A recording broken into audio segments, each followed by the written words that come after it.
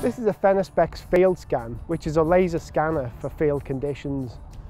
So we can grow the crop throughout the season from germination right through to harvest and measure in great detail the growth and development of the plant throughout its life cycle, from individual plants in the plots right up to the whole plot scale.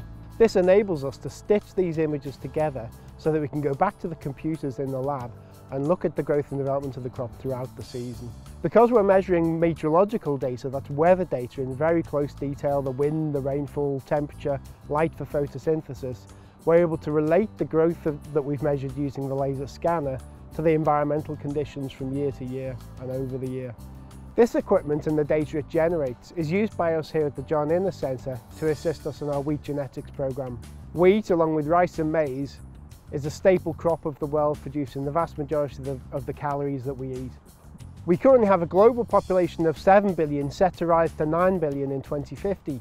The John Innes Centre and the BBSRC are part of an international network taking on the grand challenge of, of agriculture, especially for wheat. And what we're trying to do is assemble crop characteristics that will produce wheat varieties which are more resilient to climate change, to high temperature and to drought stress, to increase yield, and the very high costs of nitrogen fertiliser, both economic and environmental.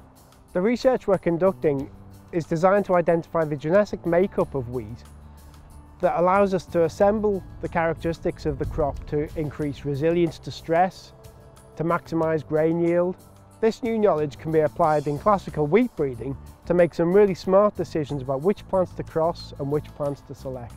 A lot of the work we do absolutely demands the very precise and accurate conditions, the controlled environments that we can provide in the laboratory.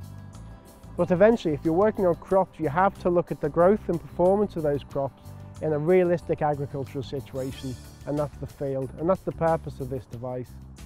The Phenospex field scan device is currently installed here at the Norwich Research Park, where the two, two goalpost-sized devices are moving over 60 metres in length.